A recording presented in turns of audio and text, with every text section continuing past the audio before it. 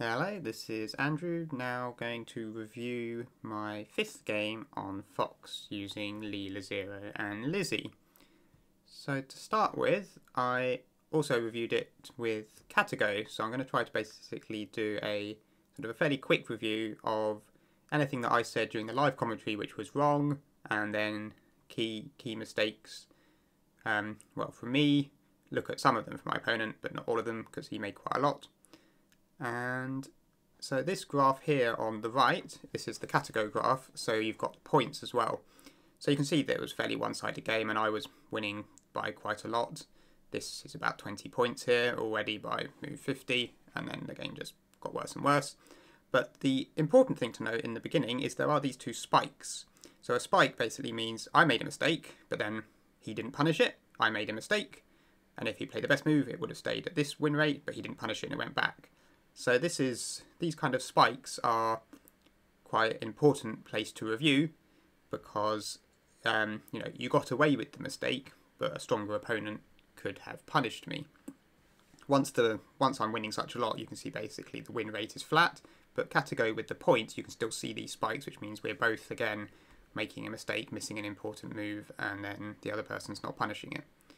So if I go here to Lizzie, so here I did a little quick review and you can see the same space with the two spikes.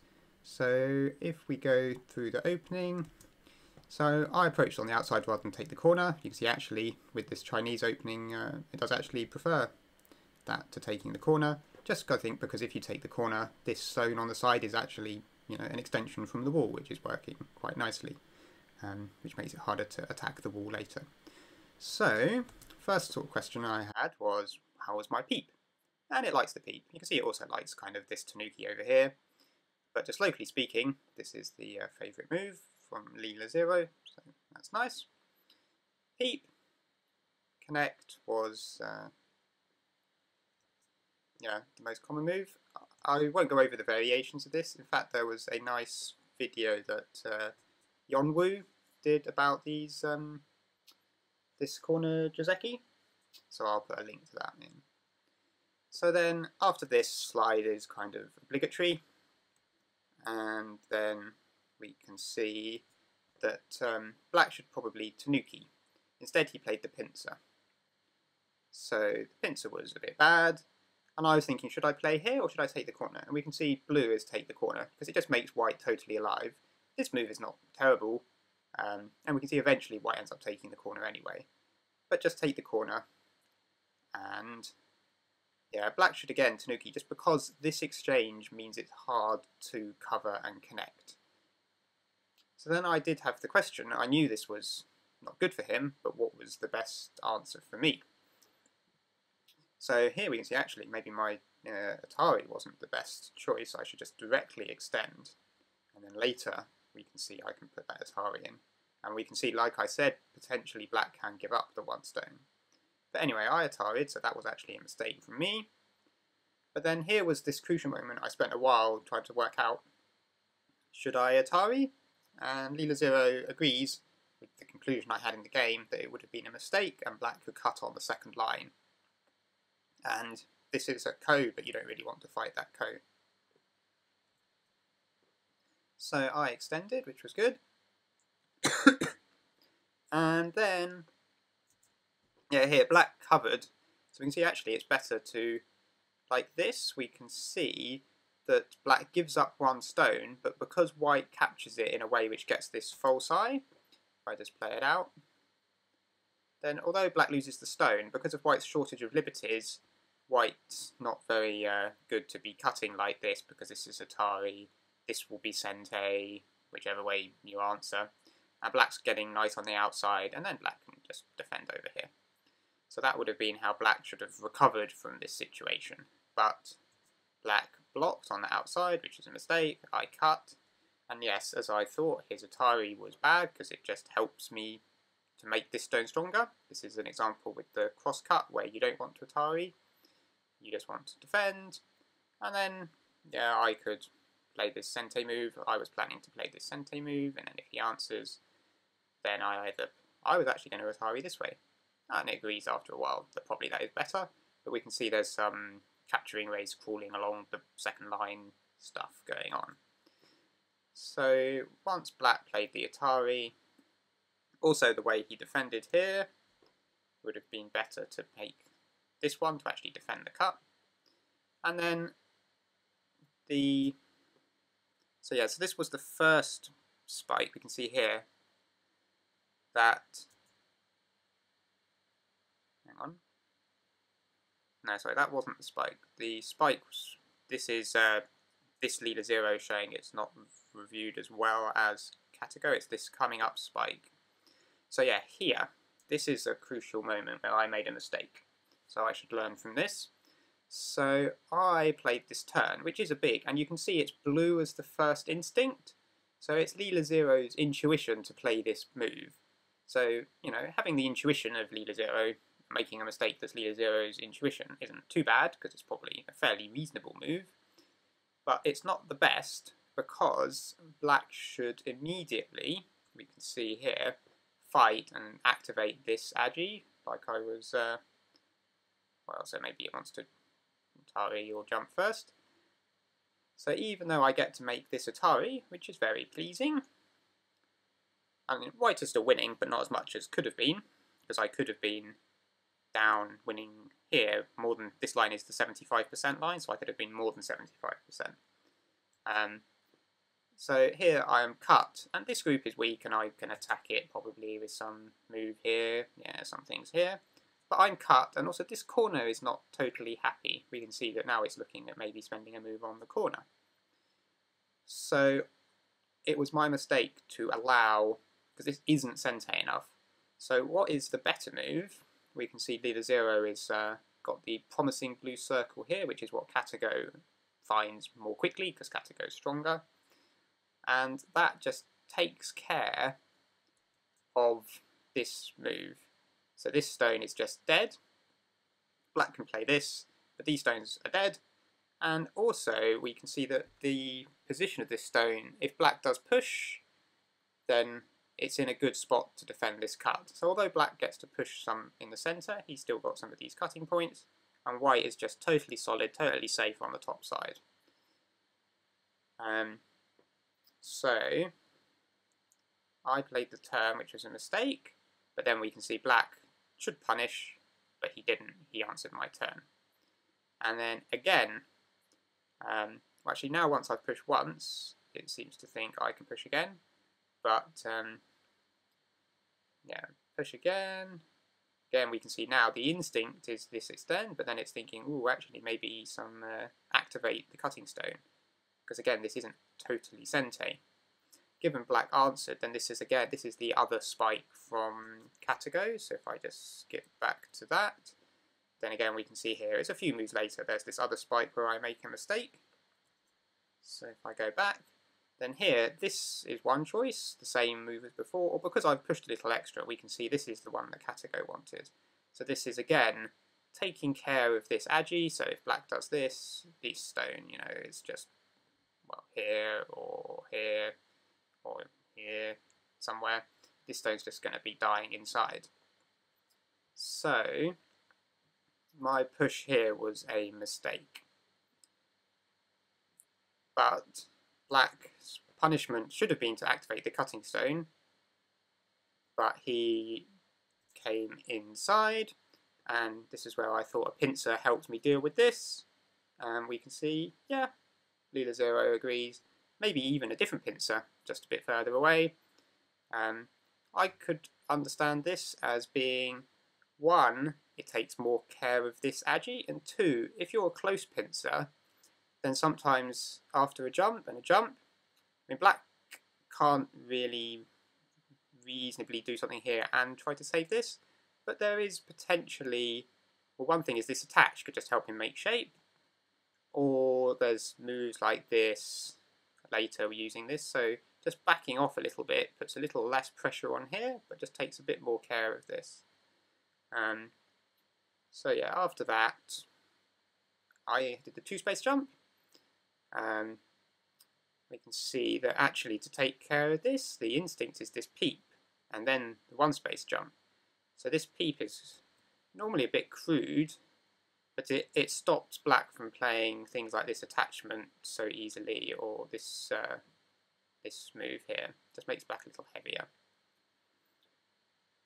But I played here, black jumped in the corner, so I extended. So yeah, here, black played this, which weakens this group. Um, KataGo's idea was also actually just to directly play here and not not weaken the, the black stones on the outside. Um, so black played this jump, which I thought was a bit of a rubbish move, and you can see, yes, black needs to, well, he's already losing a lot, down to 3%, but it's important to stop white from closing this corner, which is what I did, and my second line move is better than my, um, than the turn, and again, my hanging connection is better than the solid connection, so that's good.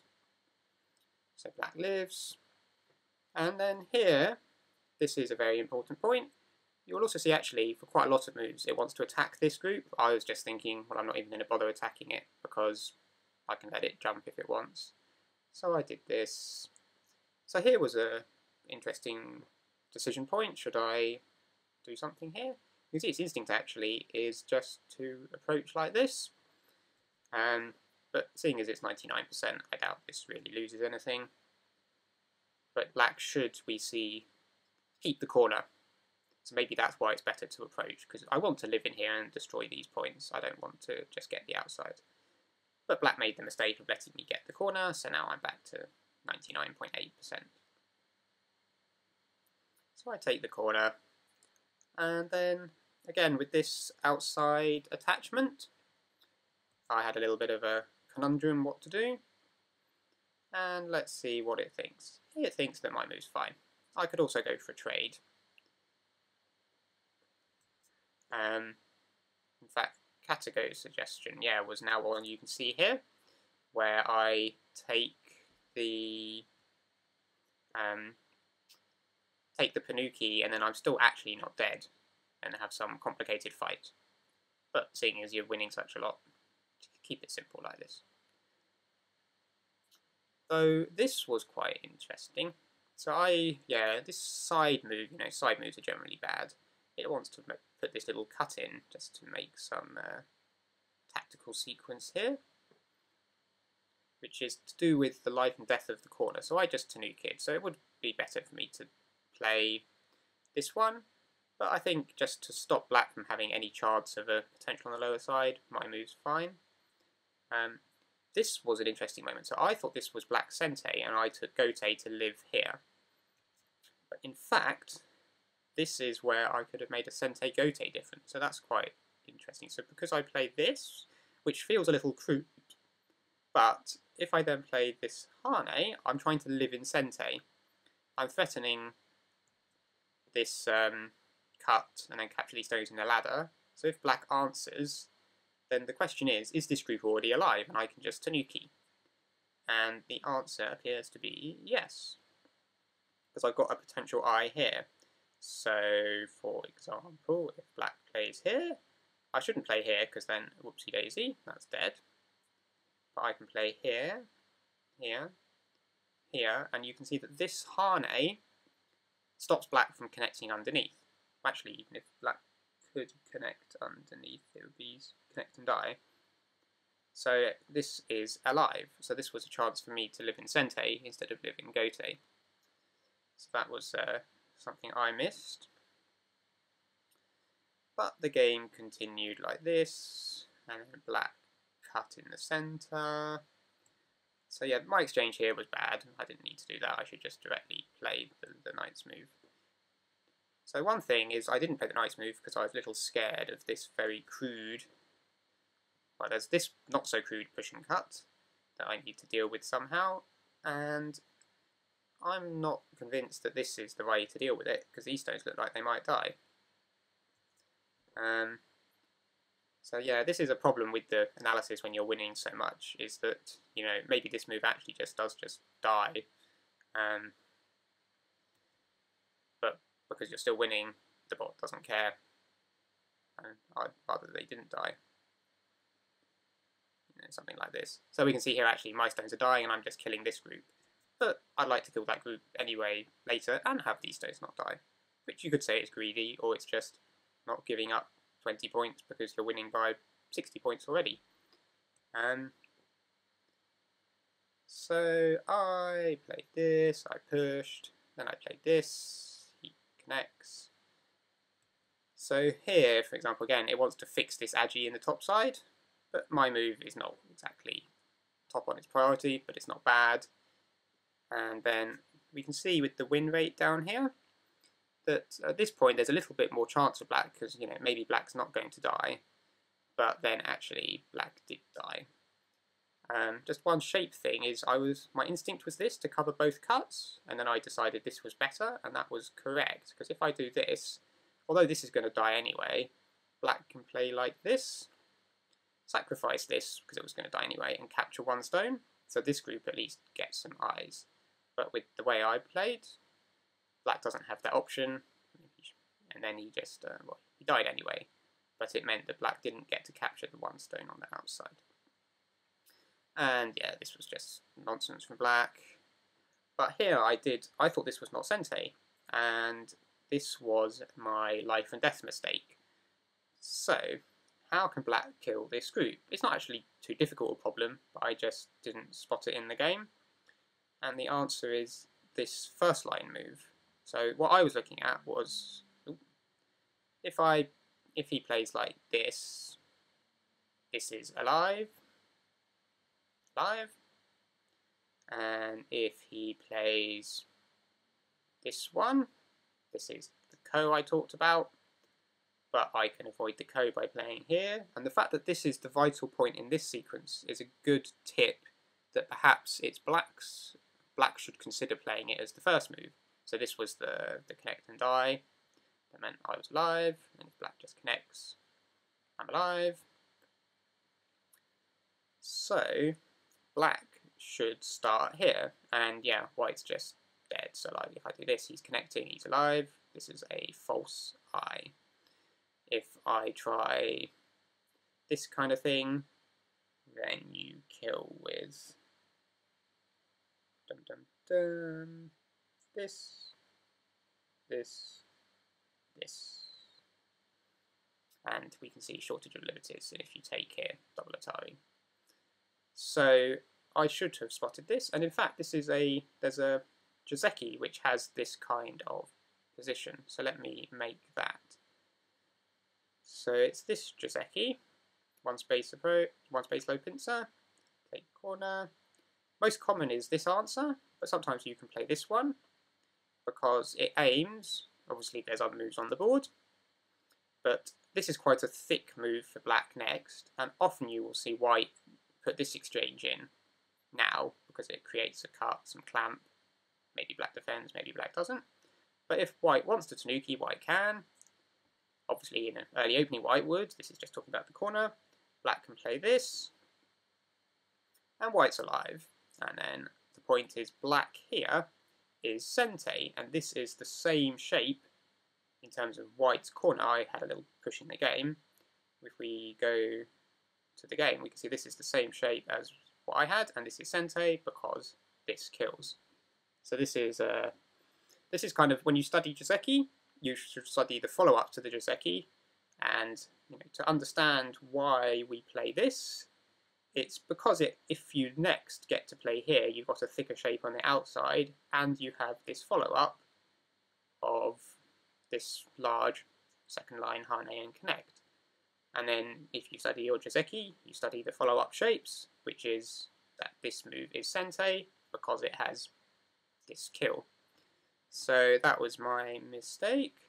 Blah, blah, blah, blah, blah. We had to this stuff. So yeah, after this, black's running. The zigzags on the win rate graph, um, if I just show that, this is sort of along here. That's because it actually thinks for a lot of this, I should just be playing here to kill this group because if and it thinks black should play here to make at least one eye for this group. And actually it's kind of the second eye too. Let's just say I totally kill this because this is Atari and he's already got an extra eye there if he needs it. So this is quite important for uh, this group not dying But seeing as black played here, I think that when you're playing a human, it's not actually too bad to just keep killing this stone and you can go kill this later because he's not going to play here. Um, so yeah, we had, and actually here I made a little mistake because this block means that this move is threatening a cut. I could actually play this one is better because then if black comes back, then now if I go for the kill, then now when I connect here, there's a less obvious, well it might actually revert, no it actually reverts. Although black didn't have the choice which side to cut. Um, so yeah, that was just my minor, minor technical detail. But yeah, the game was over by this point. And yeah. Okay, so that's this review concluded. Thanks for watching. See you for the next game.